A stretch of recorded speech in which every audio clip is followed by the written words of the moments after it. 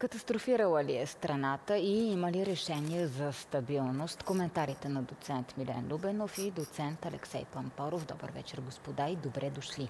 Добър вечер. Добър има ли шанс за, за третия мандат? Доцент Любенов, първо към вас. Или отиваме на пресрочни избори? Аз не мисля, че има шансове с третия мандат. Това, което виждаме като сигнали от Демократична България, от БСП, че е възможно да се реализира третия мандат, на мен ми изглеждат нереалистични, защото отново ще се водят разговори в същия формат. Демократична България така, изяви желание да води разговори с Слави Трифонов. Аз мисля, че три парламента бяха достатъчни, за да се види, че много трудно може да се работи с, с има такъв народ. А и не виждам какви гаранции има, че след месец или два Слави Трифонов отново няма да изтегли своите министри и а, партиите няма да се озоват в същата ситуация, само че тогава вероятно ще платят много по-висока цена. Защото ситуацията ще изглежда по-различна. Доцент Пампоров? Много зависи на кого президента ще реши да връчи третия мандат. И тук има игра с няколко неизвестни и с много рискове. Демократична България действително си поиска мандата, но всъщност рискува да изпадне в един капан, при който тя ще се озове а, с предложение за министри, подкрепено от ГЕРБ, да речем и ДПС, които такъв номер биха могли да направят, ако решат, а, така че да наложат контрол и да компрометират Демократична България а, защото продължаваме промяната твърдо заявиха, че не биха преговаряли с а, Слави Трифонов и с има такъв народ и че там но е биха преговаряли с ГЕРБ и ДПС, но ако се оттеглят лидерите им... Ако се оттеглят лидерите... И то в случай, то... говорим тук за ДПС за господин Певски, за ГЕРБ за господин Борисов. Маскарат. Ние и сега имахме вече партии, които са в парламента, с лидери, които са извън парламента, така че едва ли това нещо ще се случи. Ако се дадем мандата на ДПС. Там очевидно всеки ще се опита да се дистанцира, за да каже ние не сме с ДПС. Така че вероятно да, вървим към предсрочни избори, макар че всички се страхуват от служебния кабинет на президента, някак си така се объркаха. Защо се страхуват? Вие съгласни ли сте, доцент Любенов? Има ли страх от политическите партии от служебен кабинет на президента Радев? Какво този, може да изкара той, например, от Министерството на економиката? Този служебен кабинет е с, с ограничен мандат. Сега това, което се говори, че е твърде възможно отново да започне разговори с Газпром. Но аз като виждам каква е ситуацията днес, включително виждаме, че Газпром спря и подаването на газ за Германия, тази тема според мен изобщо няма да, да се повдигне в рамките на, на следващите месеци. Всички очаквания и на Запад е, че Газпром през есента ще спре напълно цялата газ за Европейския съюз. Така че не виждам какви опасения може да има служебен кабинет. подход от страна на президента Радев, например, към БСП, вероятно, вероятно ще смени редица бордове, служби държавни, което направиха и миналата година. Но не, друго, нещо, което друго, не сме виждали. Друго нещо не виждам какво може да, да, да, да промени или, или, или някакъв тип реваншизъм. Доцент Пампоров? Значи, открития реваншизъм би го компрометирал и това е примерно една от грешките, която в последните седмици може би правят продължаване на промяната, защото започнаха след вода на недоверие да уволняват и да подменят което наистина не прави добро впечатление. В 12 без 5 виждаме тези уволнения. 12 без 2 даже, не без 5. А, а, тук големия страх, разбира се, е, че може отново да се открои добър служебен кабинет, защото каквото и да си приказваме, продължаваме промяната, беше изградена а, като нещо подкрепено от президента, като хора, които а, взеха част от, а, от аурата на управлението на служебните кабинети. И именно тук е ключа с, пък с разцепването, защото в, а, при едни следващи избори а, се вижда, че има потенциал за нова формация, свързана именно с министър-председателя на служебните кабинети на предходните. И, и за това има така колебание какво ще излезе. Служебните кабинети показаха, че могат да вадят документи и да показват слабостите на всички, тъй като са за три да, месеца. Да, за това говоря и аз. Да тъй като са за 3 месеца, но, но въпросът е дали ще се направи реваншистски или ще се направи както би могло да бъде, просто да се покажат грешките и слабостите. Кое развали отношенията, според вас, доцент Любенов, между президента и продължаваме промяната, между президента и БСП? Виждаме толкова остри думи от двете страни. На вашето място професор Маринов миналата седмица каза, съжалихме, че ги подкрепихме, че казвахме на хората да гласуват за тях. С продължаваме промяната се разминаха ценности. И това се видя в началото на годината по два пункта отношението към войната в Украина, въпроса с изпращане на оръжия и втория въпрос беше свързан с Северна Македония.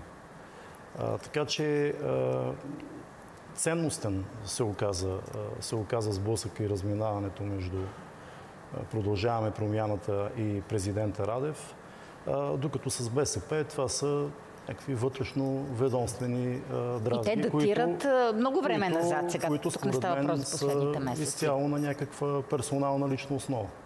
Ако върнем дори лентата две години назад, от тогава започнаха тези спорове между президента Радев и БСП и към вас същия ами, въпрос най-добре е да поканите по принцип представители на президентството и да продължаваме промяната, за, за, за, за, това за да коментират. Да, формално това бяха двата повода. Македония и Украина, войната в Украина, но всъщност имаше и коментари свързани с пътната инфраструктура, с банките, които... Така че вероятно има економически политики, вероятно има много пластове. Не, нещо точно така по-дълбоко, може би има, свързано има и, други с пластове, финансови защото, средства. А, факт е, че а, министър Янев беше уволнен много бързо за реплика, а имаше министри с по-тежки и по-неадекватни провинения, които бяха запазени. Тоест, там имаше опит на продължаване промяната да еманципира от президента и от възможните връзки. Може да са възникнали междуличностни конфликти. За съжаление това често пъти се получават, когато някой е бил началник, а после трябва да слезе в по-подчинена роля, да, да се получат търкания. Това също е нормално. Можем и така да го обясним. Можем ли да гледаме на български възход като поредната президентска партия или президентски проект, родил се под крилото на президентската институция? Това ще проличи в хода на кампанията и от действията на служебното правителство. Дали по някакъв начин служебното правителство ще се отнася благосклонно към, към, към този проект или не. За сега е трудно да се, да се прецени но очевидно е желанието на президентската институция да играе важна и основна роля в, в българската политика, включително... С повече първомощи от тези, да се, които има. Включително да се меси пряко в изпълнителната власт. Така че аз не изключвам една такава хипотеза. С, с, проекта, да. с проекта на Янев, въпреки че и двамата, и да, президента, и, и Янев категорично го отричат вече няколко месеца. Да, да не забравяме все пак, че госпожа Йотова е свързана с президентската администрация и, и там пък връзката с БСП е много силна, така че аз не знам, вие казахте поредния а, президентски проект. И се продължаваме промяната, така се говореше. Помните в деня на изборите президента... А, да, той ги подкрепи. Действително, да. това бяха не, министрите от неговия служебен кабинет. Той, той даде в, път, нали така? Той в някакъв смисъл няма и друг полезен ход. Не може до вчера да си казва, това са моите министри, се справят добре. Иска да кажеш, не, не, тия хора не, а, не стават сега. Там беше добре, може би, изиграна и от тях играта, харизмата, много хора им казваха не опитвайте, няма шанс, а те решиха да опитат. Президентът съвсем ясно винаги се разграни... опитва да се разграничава от такива, нали, за разлика от президента Парванов, който създаде партия, тук няма такива намерения, поне за сега демонстрирани. Не мога да кажа, че е поредния проект, но по-скоро е... Може би поредния проект за за альтернативна промяна, да. Можем да кажем, че поредният проект за альтернативна промяна, за търсене на, на, на баланс. За съжаление, отново баланса пак всички се опитват да кажат няма ляво, няма дясно, ние сме по-скоро в центъра. Значи, това е нещо, това е нещо което трябва накрая да се състои.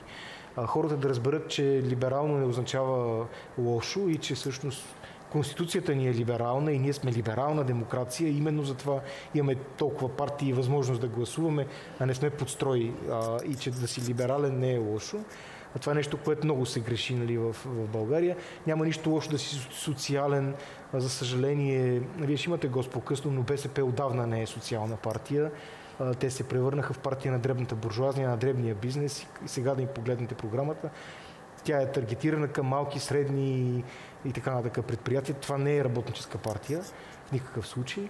А, така че лявото го няма. А, и то цент... отдавна го няма. Отдавна го няма. Отдавна със сигурност Дясното на последните, има ли го тогава? На последните избори със сигурност го няма. Ами дясно в смисъл на, на буржуазно, консервативно, християн-демократическо го има и повечето са там. Центъра определено е изместен на, изместен на дясно. Сега вече споре доколко имаме най-крайно дясно или най-крайно ляво, но, но със сигурност българските политики самата идея за леви цели с десни политики, нали, цялото това нещо показва изместването в, в дясно на политиката в, в България. Няма е социалната солидарност а, и няма, няма подкрепата за бедните, което е проблем в такава кризисна економическа ситуация. Доцент Любенов, едни нови предсрочни избори, какво ще ни донесат по-различно? Толкова ли ще бъде фрагментиран парламент или напротив? Каква е вашата прогноза? Много време има до тогава. Според мен всичко ще зависи от, от предизборната кампания, от това кога ще бъдат пресрочните парламентарни избори, дали ще бъдат края на, на, на септември или, или началото на октомври. Така че реално два, два месеца. То каква предизборна кампания а, има... в летните месеци би могло е, да септември, се септември, е, месец или средата на септември до средата на октомври може да има доста активна а, кампания. Миналата година си спомняме, че и COVID обстановката затрудни провеждане на кампания по места, на терен, всичко ставаше в, във Фейсбук. Сега нещата могат да са, да са хибридни. Виждаме, че политическите партии не само в България, навсякъде в света залагат много силно на, на кампании в Фейсбук, в социалните мрежи, така че а, който успее да, така да, да, да изведе послания, които. На хората вярват ли на тези послания, за които говорите вие? С послания. С послания се. И с популизъм, може би. С послания се печелят избори и въпросът е как се таргетират как се таргетират тези послания към, към, различни, към различните избиратели, защото електората не е хомогенен, така че е много важно и политическите партии да успеят към, към различните електорални сегменти да, да насочат конкретни послания, особено сега в една такава доста критична обстановка, свързана с а, а, потенциална економическа криза, с война до нашите граници, така че това вероятно ще бъдат две основни теми, които ще стоят в фокуса на тази кампания. Разбира се, темата с корупцията и с мафията, която продължаваме промяната, доста успешно артикулира от две седмици насам.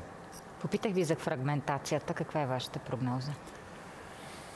Аз не изключвам този път в парламента да не бъде чак толкова фрагментиран. Това е нова прогноза. Като, като миналата година, защото виждаме, че има такъв народ, най-малкото няма да успее да преодолее избирателната бариера. Аз очаквам там да настъпи много сериозен срив. Тази партия едва ли ще бъде подкрепена от повече от 50-60 хиляди Очакват има такъв народ да отпадне. Партията на Стефан Янев ще бъде на ръба. Според мен БСП около 5-6% също може да бъде на ръба, така че в някаква степен можем да бъдем силно изненадани. Накрая да се получи един 5 или 6% парламент. Доцет Пампаров, съгласни ли сте с този вариант? А, значи да, първо избори се печелят с а, харизма, с организация а, и с послания. Това са трите елемента, които, които трябва да с политики. А, последните години показват, че ние имаме около 20-25% относително твърди електорати, които гласуват, така да се каже, традиционно а, или целерационално, имали са изгода от някого и, и, и с тази, тази инерция. Но има едни 15 20% от е, хората, които гласуват, които отиват на избори, които гласуват изцяло афектно.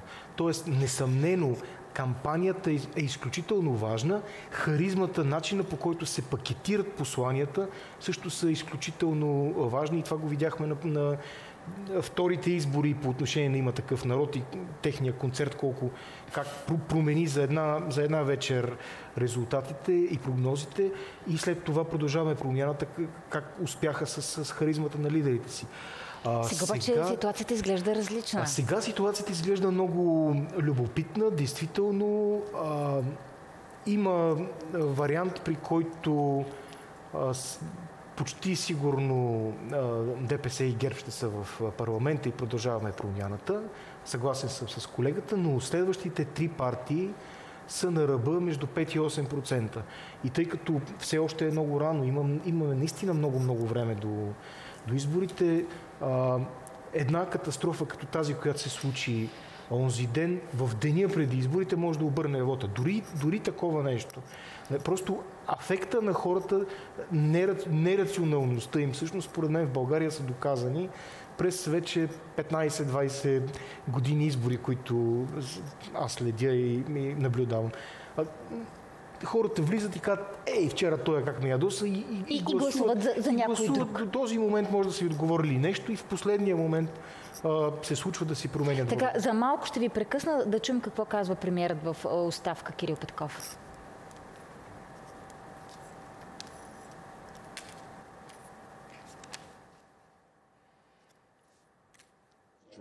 Ако това се случи, кой е отпред, няма никакво значение. Едното съм сигурен обаче, че на нас не ни трябват само 121, не ни трябват само 18 министъра. Трябват минимум една армия от 20-30 хиляди човека, които да направят истинската промяна. Ние, като говорим и за общински служби, като говорим за институции по места, толкова много хора ни трябват, така че има толкова много роли за хора, които искат да, да бъдат част от промяната, но да си част от промяната промяната е всъщност тежка задача. А, това е да, да можеш да, да, да, да си дадеш реално живота и енергията, а само за, с идея за обществено полезност, а без реално да има дивиденд за теб. И Кристиан Таков беше невероятен пример за това и за това сме тук. Благодаря ви. Последен въпрос. Много си благодарим, колеги. Нека да види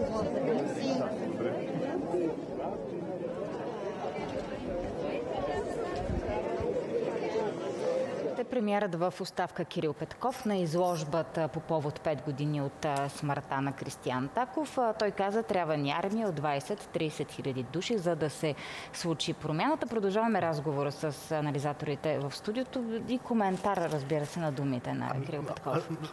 Ако може сега, аз затова казах, трябва организация. Това е най-слабото място всъщност на продължаваме промяната. Те много подцениха управление. За, за това техните провали, така, които може да кажем, че се провалиха, е, подцениха третия ешалон.